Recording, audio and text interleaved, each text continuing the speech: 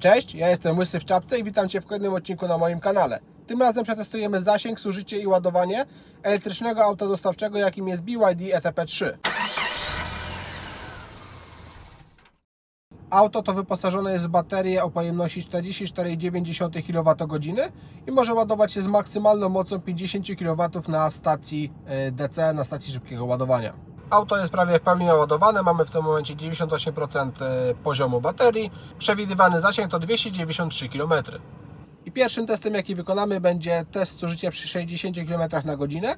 Przejedziemy sobie około 100 km po pobliskich miastach właśnie z taką prędkością i zobaczymy, ile w takim trybie auto będzie zużywało energii. Ja roboczo nazywam to testem łysego kuriera w czapce, bo poruszamy się tak naprawdę jak kurier z paczkami po mieście. Jeździmy od punktu A do punktu B, żeby nabić kilometry i sprawdzić, ile auto zużyje.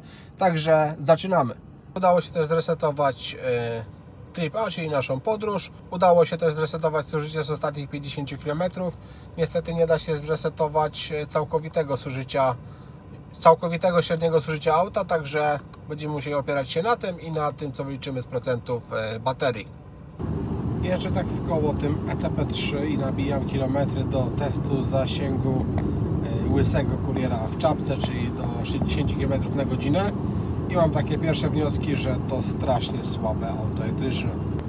Tak, i nawet jak na auto dostawcze jest słabym elektrykiem. Dość słabo się prowadzi, strasznie wyje. Przy każdym przyspieszaniu czuję to jakieś wibracje.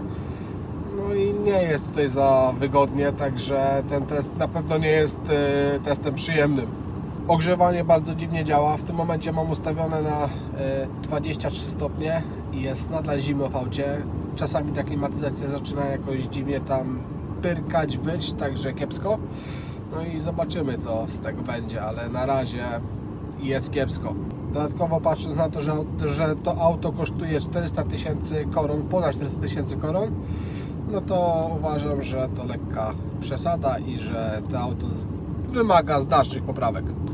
Możliwe jest też to, że to ja mam wygórowane oczekiwania po tym, jak przetestowałem auto osobowe od tej marki i były one świetne i miałem dosyć spore oczekiwania od tego auta, a rozczarowało mnie po prostu, rozczarowało.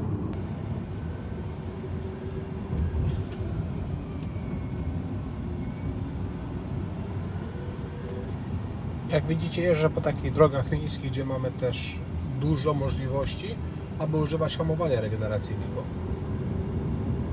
Tak naprawdę co kawałek mam hopki i co kawałek muszę zwalniać, żeby mało wiele komfortowo je przejechać. Bo tak jak Wam wspominałem, to auto nie jest zbyt komfortowe, jeśli chodzi o zawieszenie. Ogólnie jest to jedno z gorszych aut elektrycznych, jakim w ogóle kiedykolwiek jeździłem. Także BYD jest miejsce na progres i tego miejsca jest naprawdę dużo.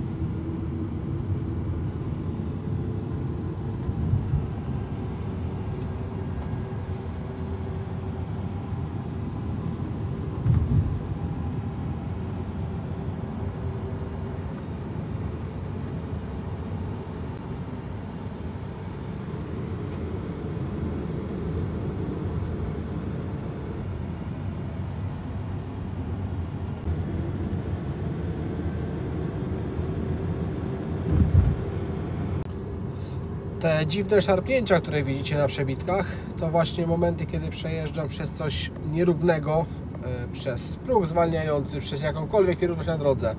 Także zawieszenie w tym aucie to mm, duży problem. Jedynym co ratuje ten test pod względem komfortu jest ten piękny zachód słońca, bo innego komfortu totalnie tutaj nie ma zaczyna się ściemniać, a to oznacza, że test zakończymy tak jak zawsze po zmroku, ale tym razem prawdopodobnie uda mi się zakończyć testy nie o 3 w nocy, a około 22. Jeżeli odbija Wam się światło od mojej łysej głowy, to sorry, ale włączyłem sobie lampkę, żeby było mnie trochę chociaż widać, bo jest już tak jak mówiłem, trochę po zmroku. Auto to strasznie mnie męczy, tak dziwnie się nim jedzie, jest takie strasznie szarpiące przód tył przy każdym zwalnianiu, przyspieszaniu, że po prostu zaczyna mnie powoli boleć, e, boleć głowa od niego, także nie jest fajnie. Ogólnie mnie testy zużycia raczej nie męczą, bo ja uwielbiam jeździć samochodem, ale to auto akurat ma coś w sobie takiego, że tak, ono dało radę mnie zmęczyć i teraz tak, mam już 50 km na budziku. Przejedziemy jeszcze trochę, e, żeby ten test był taki miarodajny, ale już widzę, że od 30 km zużycie trzyma się tak samo na poziomie około 24 kW na 100 km.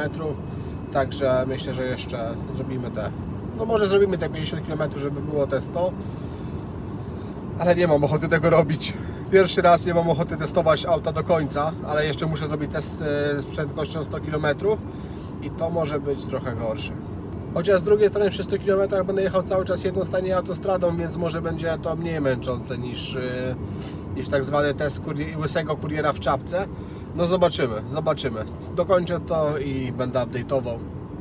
Jeśli chodzi o to, jak to auto odtwarza muzykę, bo włączyłem sobie muzykę, żeby było trochę przyjemniej, e, to też nie jest dobrze. Szukam jakichś pozytywów w tym aucie, a to auto ciągle mi w tym przeszkadza. Jakby ciężko mi coś znaleźć pozytywnego tutaj.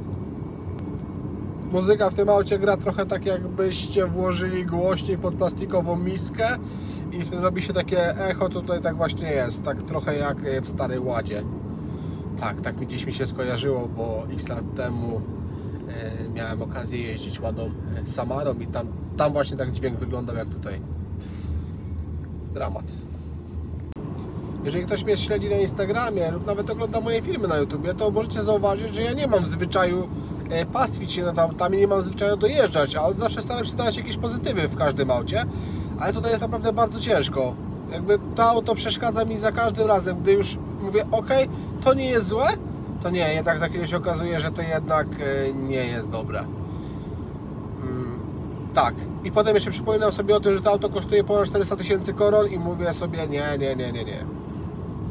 Mógłbym powiedzieć, że służycie w tym aucie jest niezłe, bo w tym momencie pokazuje, że zużywam 20,9 kWh na 100 km. Ale wydaje mi się, że to też jest trochę przekłamane, bo patrząc na to, że przejechałem 62 km, a auto służyło ponad 30%, to chyba trochę tutaj kłamie. Przejechałem 63 km jako łysy kurier w czapce. Może ubiorę kaptur, żeby było bardziej legitnie. Tak, łysy kurier w kapturze. 63 e, km i poddaję ten test. E, nie jestem w stanie jechać dłużej, bo to auto mnie tak męczy, że jeżeli przyjadę jeszcze kolejne 40 km, to po prostu nie zrobię testu życia przy 100 km na godzinę, bo w tym momencie już boli mnie od niego głowa. E, też od rana siedzę w aucie, bo jeszcze przed tym autem testowałem, e, uzupełniałem Maxusa E-Deliver 9. E, także od rana tak naprawdę od 8 jestem w aucie, więc pasuje. 63 km wydaje mi się, że to i tak jest już taki obraz po mieście, gdzie, gdzie coś nam pokazuje, gdzie coś możemy z tego wywnioskować. I teraz zobaczcie jak to wygląda. Auto na podstawie ostatnich 50 km pokazuje, że zużywało 20,5 kWh na 100 km. Tak jak widzicie, Trip A przejechaliśmy 63 km, zużyliśmy 32% baterii, bo startowaliśmy z 98% można powiedzieć. I teraz przekłada się to na to, że jeżeli przeliczymy to, co zużyliśmy z baterii, te 32%, y, razy pojemność baterii i kilometry, które przejechaliśmy, że auto zużyło nie 20,5, a 22,8, czyli różnica nie jest duża. 22,8 nadal nie uważam, że to jest jakiś super wynik, y, bo to auto nie jest jakimś wielkim dostawczakiem, nie jest, jakieś nie jest jakoś super ciężkie, też ono chyba waży 1600 kg, z tego co pamiętam, Także nadal uważam, że zużycie jest e, dosyć, e, dosyć duże, mogłoby być mniejsze. I to jest kolejna rzecz, którą to auto się nie obroniło. Także będziemy szukać dalej pozytywów. Jedziemy zrobić test e, zużycia, na, zużycia przy prędkości 100 km na godzinę. Rozładujemy auto do jakichś 10%. Sprawdzimy ile zużyło i zrobimy mu test ładowania, chociaż tutaj też nie będzie fajerwerków, bo to auto maksymalnie przyjmuje 50 kW E, ma też baterię 44,9 kWh, więc dosyć długo będzie się ładowało. Ok, resetujemy zużycia, wciskamy sobie tutaj Enter, żeby się średnie zresetowało, zresetowane. Teraz tutaj wciskamy taki e, dzyndzelek, resetuje nam się trip A i ruszamy. Ok, przy 100 km na godzinę w tym aucie już nie jest tak źle, bo już tak nie skacze. Bo jadę autostradą, więc nie ma też po czym, ale jak są jakieś nierówności, to nawet przy tej prędkości potrafi nieźle nim rzucić.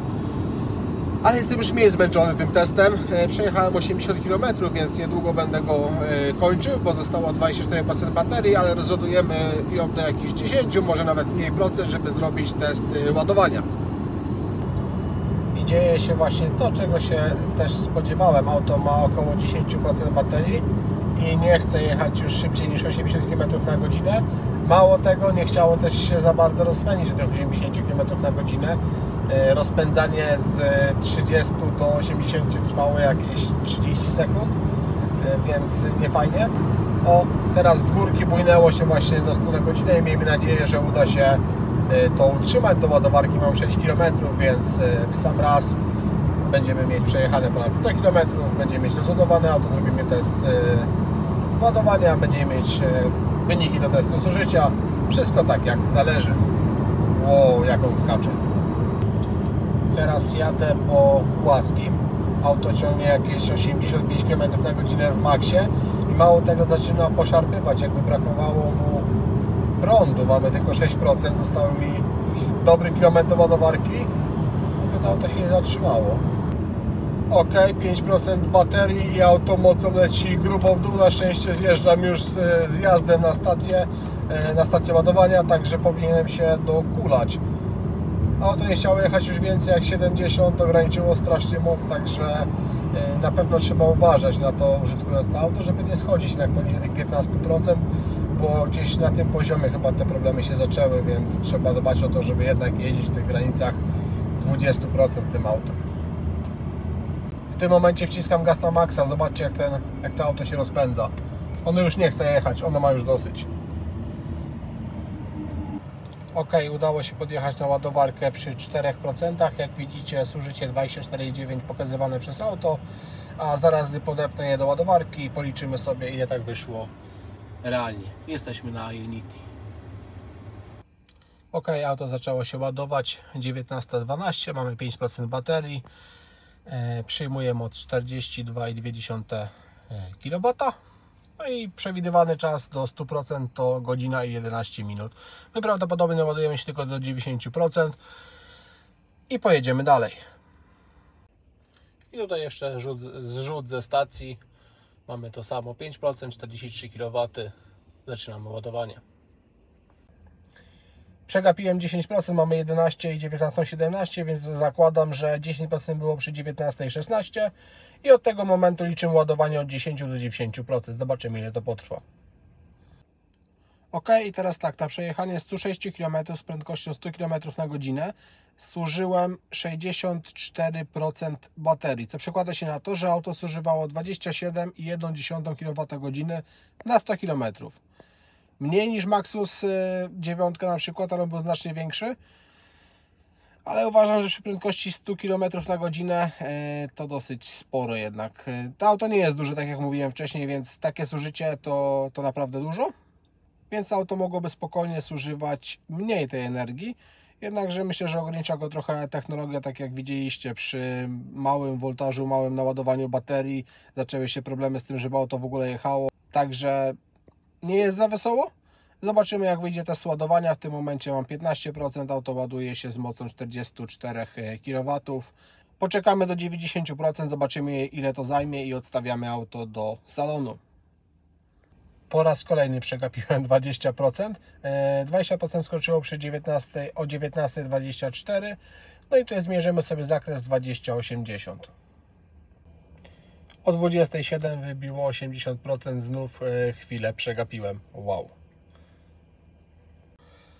Ok, i tak o 20.14, czyli po dobrej godzinie, wybiło 90%, czyli auto od 5 do 90% ładowało się, można powiedzieć, w godzinę i przy 90% spadła też moc ładowania do 29,2 kW. I tak się teraz trzyma w granicach 25-29 kW. E, jeszcze sobie to przeskakuje. Teraz już się ustabilizowało na 25. Także ten taki gap, gdzie, gdzie moc ładowania spada, to 90%.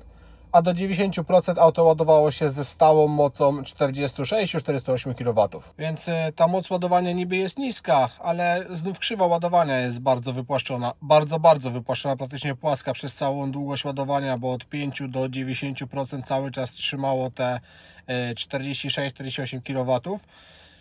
Mimo to to ładuje się długo, no nie ma tutaj co, co się oszukiwać, że godzina na ładowarce i przejechanie jakichś 250 km, no to sporo. E, przepraszam, nie 250, a 200 przy prędkości 60 km na godzinę i 160 km przy prędkości 100 km na godzinę, więc e, jeżeli jechalibyśmy autostradą, to tak naprawdę co, co te 150 km, nawet mniej, musimy zatrzymać się na godzinę, żeby naładować auto od tych 10 do 90%, więc e, dłuższe trasy tym autem będą męczące, tutaj nie ma co się oszukiwać. Wychodzi na to, że to auto jest po prostu stworzone do tego, żeby jeździć nim w koło komina na krótkich dystansach i ładować je po prostu w domu i sporadycznie doładowywać gdzieś na szybkich ładowarkach, jeżeli zajdzie taka potrzeba. No i w takim użytkowaniu uważam, że to auto może się sprawdzić jako taki, e, to taki mały wół roboczy, który będzie po prostu przewoził jakieś rzeczy czy narzędzia. Jeżeli takie będzie jego zadanie, to uważam, że to auto e, całkiem dobrze może się sprawdzić e, w firmie lub e, też prywatnie. Niekoniecznie musisz mieć firmę, żeby mieć takie auto do przewozu narzędzi. Tyle, że dalej uważam, że 400 tysięcy koron za to auto to przesada i osobiście znalazłbym coś innego dostawczego w tej, w tej cenie, dużo lepszego niż, niż to auto. Niemniej jednak komuś to auto może pasować. E, dla mnie trochę, e, tak jak mówię, cena jest przesadzona, więc e, ja bym odpuścił. Uważam, że ATP3 nie jest zbyt dobrym elektrykiem, szczególnie patrząc na to, ile kosztuje. Jeżeli, jeżeli auto kosztuje 400 tysięcy koron, to wymagałbym od niego więcej. Mamy tutaj bardzo proste multimedia, praktycznie mamy tutaj same radio i możliwość podłączenia telefonu przez Bluetooth, także kiepsko, nie ma tutaj nawet nawigacji. E, do tego auto ma małą baterię, 44,9 kWh, dosyć słabo. E, auto słabo się ładuje, 50 kW e, maksymalnej mocy ładowania. To naprawdę słaby wynik jak na, 2000, na 2023 rok. Plusem jest to, że krzywa ładowania jest praktycznie prosta. Od 5 do 90% auto ładowało się z mocą 46-48 48 kW no i po 90% spadło do 25, przy 95 do 15. E, auto ładowało się od 10 do 90% e, godzinę. Można powiedzieć, że godzinę bez 4 e, minut chyba. I teraz od 20 do 80% auto naładowało się w 43 minuty. Także ten czas ładowania, patrząc na wielkość baterii, jest dosyć długi, bo tak naprawdę na pełnej baterii przy prędkości 60 km na godzinę przejedziemy jakieś 200 e, km, e, nawet nie i musimy się e, ładować przez godzinę, a przy prędkości 100 km na godzinę przejedziemy jakieś 150 km w tym interwale 10-90, no i będziemy musieli podłączyć do ładowarki, także dosyć kiepsko bo to znaczy, że tym autem możemy poruszać się tylko w koło komina i tak naprawdę to auto do tego się nadaje, żeby je kupić i jeździć nim w koło komina. Jeżeli nie jeździsz więcej niż 150 km dziennie, to Ci wystarczy, no i będziesz się ładował w domu tylko czy to auto jest warte tych 400 e, ponad tysięcy koron. Ja bym dyskutował. E, jest to jeden ze słabszych elektryków, jaki, jak, jakiego testowałem. E, oprócz tych wszystkich rzeczy, które wymieniłem, tutaj mamy jeszcze więcej wad. Auto dosyć kiepsko się prowadzi, dosyć kiepsko nim się, nim się jedzie. Nie ma tutaj żadnego komfortu jazdy, jest głośno, auto strasznie skacze na wszelkich wybojach, zawieszenie jest koszmarne. Także ciężko mi znaleźć tutaj jakieś pozytywy na temat tego auta. No i co? Jedynym pozytywem chyba jest to, że nie ma tutaj złącza Shademo, tylko jest CCS i chyba więcej nic innego e, tutaj po prostu w tym momencie nie znajdę. Tak jak mówiłem wcześniej, moje oczekiwania też są trochę większe, bo e, jeździłem wcześniej wszystkimi autami od y, BYD i były naprawdę świetne, a to auto jest naprawdę e, przepaść gorsze niż, niż to, co, to, co zobaczyliśmy przy osobówkach. E, szkoda, e, BYD ma duży, ma miejsce na progres, na miejsce na naprawdę duży progres, żeby to auto poprawić, żeby wyszła wersja poliftowa, dużo lepsza od tego, co tutaj mamy. No i czekajmy na taką wersję i wtedy zobaczymy, czy, czy ta wersja będzie zbliżona do tego, co właśnie mieliśmy przy osobówkach, czy będzie to porównywalne z tym, co mamy tam, czy nadal będzie tak kiepsko, jak jest teraz. E, Kończymy ten odcinek. E, Pokaza- pokazałem Wam, jak wygląda zużycie w tym aucie, jak wygląda ładowanie. Czy chcecie takie auto mieć, czy nie, to już musicie, sobie ocenić sami. Ja uważam, że za tą cenę można znaleźć coś lepszego, na przykład e, Maxusa Edeliver 3, którego będę testował e, za tydzień, także serdecznie zapraszam do kolejnego testu. W tym momencie się z Wami żegnam. Jeżeli ten odcinek Wam się spodobał, zostawcie tradycyjnie łapkę w górę, zostawcie subskrypcję i dzwoneczek, żeby być na bieżąco i do zobaczenia w kolejnym odcinku. Siema!